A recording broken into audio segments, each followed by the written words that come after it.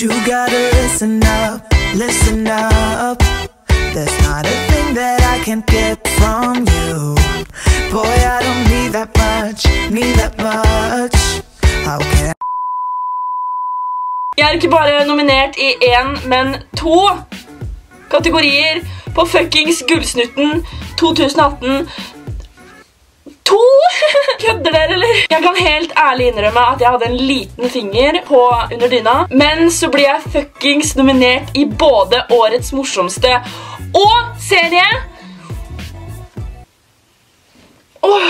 Så å si rett etter jeg fikk vite at jeg var nominert til Gullsnutten, så kontakta P3 meg og ville ha meg der på et intervju angående nominasjonen. Jeg bare, what is life? Jeg syns det er en ære å bli nominert, og jeg vil bare si tusen hjertelig takk til dere som har stemt på meg. Kjære Maria på Nordic filma meg når det her skjedde, og eh, her kan dere se hvordan jeg reagerte.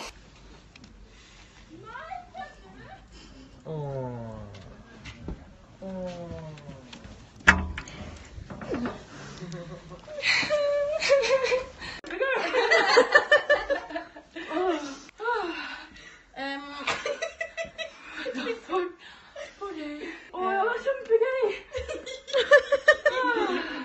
så jeg var litt høylytt, og jeg tror noen på kontoret forsto det, men når jeg gikk ut den døra, så fikk jeg lov til å fortelle noen det. Blant annet Bea og Ramon var der, og når jeg kommer ut, så bare, jeg hadde tårer i øya, for jeg hadde grini. og Bea bare, gratulerer meg med hva enn det er, og jeg bare, jeg har så lyst til å si det, jeg har så lyst på en klem akkurat nå. Men det var med meg tre herlige damer inn på kontoret der når jeg fikk vite det, så jeg fikk masse klemmer. Men nok om det! Yes, jeg er tilbake med under dyna, og det er faen meg på tide. Det er to måneder siden sist jeg la opp under denne videoen.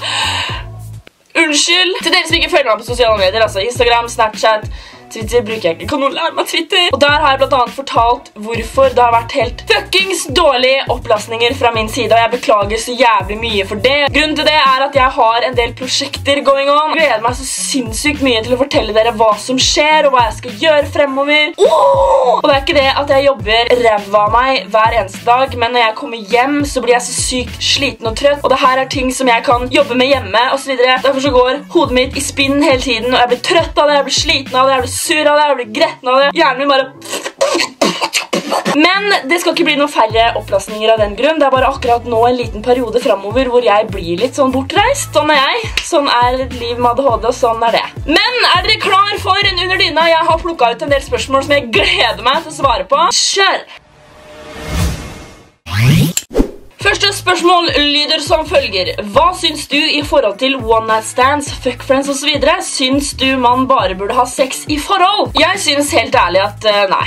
Sex er eh, kjempedigg, og det er herlig, og det er uh, så fint på sin måte at jeg personlig syns ikke det. Jeg syns at one night stand er helt ok, og jeg syns fuck friend er helt ok. Jeg personlig kunne ikke hatt en fuck friend fordi jeg får følelser for folk jeg har sex med over flere ganger. Så one night stand derimot er helt ok, men man føler seg så jævlig skitten, så det er sånn men jeg har ingenting imot folk som har one night stands og har sex med 200 personer. Go ahead. Whatever makes you happy, liksom. Så klart har jeg jo hatt one night stands, det er jo ikke det. Men det er ikke noe jeg liksom bare Dra på fylla på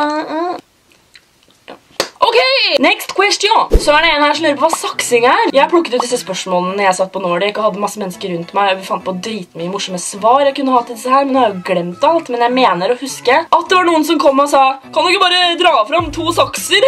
ja, kinda. Se for deg to sakser. Det skal liksom være bein, da. ikke sant? Jentebein. Og så gjør du sånn. Og så har du liksom, gnir du fitta di mot hennes fitte. Så gjør du sånn. Ja. Jentesex, da, med andre ord. Så er det en som lurer på hva hun skal gjøre, fordi kjolen hennes detter alltid ned. Hun skal på fest på mandag. For det første tenker jeg Ops, det var i går. Jeg tenker Enten så spiser du burgere, eller så kjøper du deg en kjole. Altså, girl. Girl. Girl. Jeg skjønner det. Har du funnet deg en top notch kjole som du absolutt vil bruke, og den faller ned hele tiden, så for det første så burde du kanskje prøve den i butikken før du kjøper den. Jeg har vært i lignende situasjoner. Det jeg har prøvd, da, som kan funke, men da må du være obs, da. Det er at du tar gaffateip. Så bare teiper den rundt. Nei, men du tar en teip, kraftig teip, og så ruller du den sånn at den får en klister på alle sider, og så putter du den liksom sånn. Så bare klistrer du på. Tada! Så er det en her som lurer på hvordan man vet om man er lesbisk eller homo. Og da tenker jeg, hva er det du ser på når du ser på porno? Hva er det jeg ser på når jeg ser på porno? Jeg tenker det er egentlig akkurat det samme som når vet jeg at jeg er forelsket for en hetero eller for en gay person. Du vet hvem du liker når du blir forelsket i noen, eller når du ser på noen sin ræv, eller når du smiler uten grunn. Eller smiler som en idiot, som jeg gjør hvis jeg er betatt av noen, så ja. Hva skal man gjøre hvis kondomen sitter fast inni deg? Nei, da lar den bli der! Hmm, hva gjør man da? Hmm, kanskje man kan prøve å ta den ut? Greia er det at kjeden er ikke så jævlig lang, sånn at du får plass til å ta tak i kondomen og dra den ut. Det har skjedd. Veldig, veldig rar eh, følelse, kan jeg si. Hvis man har mensen og har glemt bind slash tampong og har bading på barneskolen og ikke har med melding eller noe, og læreren tror det er en unnskyldning, hva burde man gjøre? Da går du fram til læreren, så gjør du sånn. Drar ut buksa, stikker hånda nedi, graver deg, så gjør du sånn. Er det godt nok? Lukt! Det er ikke ketchup. Nei, men fy. Eller så kan du ha med en meldingsbok dagen etterpå. Så er det en jente på 12 her som lurer på om det er rart at hun ikke har fått mensen fordi mammaen hennes fikk det når hun var 11. Det er overhodet ikke rart i det hele tatt. Jeg fikk ikke mensen før jeg var 10-klassing. Hva var jeg da? 14 år? It's totally normal. Alle kropper vokser forskjellig. Noen får mensen når de er 10, andre får det når de er 16, noen får det når de er håper ikke over 20. Da burde du oppsøke lege. Men det er ikke unormalt i det hele tatt. Så er det en frøken her som lurer på om det er normalt at den ene puppen hennes har blitt større etter hun startet på p-piller. Vet ikke om det er p-piller Altså, det er mange som sier sånn Å, jeg får større pupper av p-piller. Jeg personlig har aldri opplevd det. Det er jo ingenting som vil gjøre at puppene mine vokser. Men det kan godt være p-piller. Jeg har hørt at, uh, hørt at det kan, kan funke. Eller så er du jo i en fase hvor du vokser, og kroppen vokser ulikt. Min pupp, høyre pupp, er fremdeles større enn min venstre pupp. Uh, lurer på når, uh, når det går opp i opp, fordi det er ikke så ille. Men det hadde jo vært digg å vært symmetrisk, liksom. Kan man si da? Ok, nå høres det ut som jeg er skikkelig rar her. Eller ikke rar, pupper er fine på alle sine måter. Åh, det er så vanskelig å snakke om sånn her uten å tråkke noen på tærne. Jeg er bare veldig selvironisk, og det må dere bare forstå.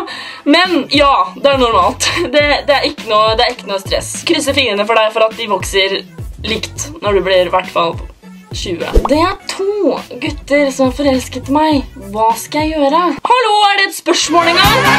It's raining men. Hallelujah, Så faen går det der. Det er et luksusproblem! Det er jo ingenting du kan gjøre. Date begge to og finne ut av hvem du liker best. Gå for den du liker best. Så er det en som lurer på om jeg har enda en klein sexhistorie. Yes, do. Ok, det er ikke en fullkommen sexhistorie, men det var så Altså, det kan ikke utebli. Jeg må bare fortelle dette. Eh, dette her var eh, Jeg var 18 år gammel. Jeg bodde på Gol. Eh, på Gol Jeg bodde på Gol, og der finnes det ikke så mye valgmuligheter av gutter. Sånn at man blir jo veldig glad hver gang det er folkehøyskolesesong, for da kommer det mange gutter dit. I hvert fall, Dette var en periode hvor det ikke var folkehøyskolegutter der, sånn at da måtte man velge å vrake de som var der fra før. På Gol så var det et sted som var 18 år, utefest, ut, utested, så var det 20 år. Og alle mine venner har bursdag før meg, Sånn at de var på 20-årsstedet, og jeg var på 18-årsstedet. Fordi sånne venner har jeg. Hadde jeg. Jeg er ikke venn med de mer. Ikke på grunn av det nå. I hvert fall, jeg ble på 18-årsstedet, og jeg ville feste. Fordi mm, ja, jeg er, var og har alltid vært glad i alkohol, og synes at det er kjempegøy. Så jeg ble værende igjen på det 18-årsstedet. Møtte på noen litt eh, eldre jenter som jeg bare dansa litt med, men jeg kjente ikke så godt. Så kommer det bort en eh, guttegjeng da, hvor jeg visste hvem alle var, selvfølgelig, fordi det bor jo hva da, 3000 mennesker på Gol eller noe. Så kom det bort en eh, fyr, jeg hadde sett ham før, men jeg hadde aldri snakket med han. Eh, og jeg synes overhodet ikke han var pen i det hele tatt, men han var morsom. Så vi gikk i baren og kjøpte oss en øl, og kjøpte oss en til øl, og enda en øl, og bare. Og på den tiden så røyka jeg, så jeg gikk jo ut hele tiden for å ta meg en røyk. ikke sant? Og så fulgte han med hele tiden. Og til slutt så synes jeg at han ble veldig sånn, veldig klengete. Og så plutselig så begynte vi å rote, da. Og så står vi der, husker jeg, ved siden av en sånn varmelampe, og så sier han sånn Hadde ikke trengt en varmelampe her. Hold med deg. Kommer sånne kleine ting hele tiden. og Jeg bare vil ikke være med deg mer. Klokka var bare ett, sånn at jeg ville jo ikke dra hjem ennå. Pluss at hun ene som var på det 20-årsstedet, hun skulle sove hos meg den kvelden. Så jeg hadde jo ingen andre, så det var jo bare han. Ja. Det endte i hvert fall opp med da, at jeg blei pretty dritings. Jeg dro hjem med han og, venninna mi. Venninna mi ble sovende på sofaen. Men det som var litt dumt, var at på vei hjem så gikk vi til meg. Det var ikke det at det var så langt stykke, men jeg rakk å bli litt, bli litt edre, da. Sånn at jeg tenkte bare mer og mer bare faen. Hvorfor er du med meg hjem? Jeg ikke at du skal være med meg hjem. Men stakkaren trengte jo et sted å sove, ikke sant? Og så bare, ok. Og så gikk hun og la seg på sofaen, og så gikk vi og la oss hos meg. Og jeg husker at jeg ikke, jeg ville ikke se han naken eller noen ting, så jeg bare skrudde av lyset. og så når det hadde gått sånn tre minutter eller noe, så begynte han å spune meg, og jeg er veldig, veldig glad i å spune, så jeg ble sånn, ok, det var hyggelig, det var, det var hyggelig, liksom. Og så plutselig så begynner han å kysse meg her sånn, og da da er jeg solgt, for å si det sånn. Og så spurte han meg rett ut Skal vi ha sex? Og jeg er veldig sånn Det går fint i visse tilfeller å spørre hvis man er i et forhold, men hvis man drar med seg noen, så blir det så rart. Da skal det skje, liksom, bare. Men jeg vet ikke, jeg prøver alltid å være så jævla sexy når jeg skal ha sex, sånn at jeg rulla liksom Rulla han? Jeg gjorde ikke det. Jeg dytta han liksom over på ryggen, og så gikk jeg på en måte oppå han, og så kyssa jeg han nedover magen. Og så når jeg kommer til brystpartiet, så begynner å, herregud! Stakkar! Han begynner å riste! Og jeg bare, altså, nå, Det er ikke snakk om liksom, nervøsitet, fordi jeg har snakka med flere av mine kompiser før om det her, og de bare ja, det er normalt å være litt nervøs. da. Ja, ok. For det første så var vi fulle. Da er man ikke nervøs, eller? Jeg er i hvert fall ikke det. For det andre så er det forskjell på Å jeg kødder ikke, men begynte å riste, og jeg bare, å herregud, så bare reiser jeg meg opp, og så ser jeg på han, og så sier jeg, går det bra? Og så sier han, ja, jeg har bare aldri gjort dette før. Jeg bare, å fy faen. For det første er du stygg, for det andre vil jeg ikke ha sex med deg, og for det tredje så har du aldri gjort dette før. Det hadde jo gått greit om han var liksom master in bed, men når han aldri har rørt en kvinne før, åh, jeg bare, alt bare raste sammen. jeg bare, og så går det bare, og så sier jeg bare, ok, men vi bare driter i det her. Og han bare, nei, kom igjen. Mm. Jeg bare, nei, ikke faen om jeg skal være din første i en alder av 19 år. I hvert fall, det gikk noen minutter, og jeg bare, jeg skal bare ut til venninna mi. og bare, jeg husker ikke hva jeg sa, hente noe, eller si noe, eller et eller annet. Så gikk jeg ut i stua, og så fortalte jeg hva som hadde skjedd, og hun bare, herregud, la som du sovner her, eller noe. Jeg bare, oh, takk, best friend, yeah. Så det gjorde jeg, så vi lå og snakket i flere timer, det var sinnssykt hyggelig. Jeg sovna, som planlagt, og dagen etterpå, så husker jeg, jeg husker jeg så godt, vi lå sånn her, ikke sant, mot hverandre, begge to sov, så hører vi at døra på soverommet mitt går opp, og begge to bare Gjem under dyna, gjem under Jeg bare, kommer til å se at jeg ligger der. Og så sier hun, ok, jeg, ljuger for deg, lat som du sover. Og så reiser hun seg opp og så bare, hei, ja, sorry, Nelly sovna i går. Han bare, åja. Og så husker jeg ikke helt hva som skjedde, men jeg husker at han ble værende ganske lenge. Så ja, det var en historie jeg hadde veldig lyst til å dele. Hva er det jeg ikke deler, liksom. Det er en her som lurer på hvorfor utfloden ikke stopper når du er ferdig med mensen. Altså, greia i puberteten er at ingen er like. Noen har dritmye utflod hele tiden. Takk Gud. Noen har ingenting, noen har bitte litt, noen har midt imellom. Kroppen er forskjellig, men hvis det er et problem, hvis det er et stort problem, så kan man gå til helsesøster eller lege eller whatever, og så kan man få ting som hjelper for det.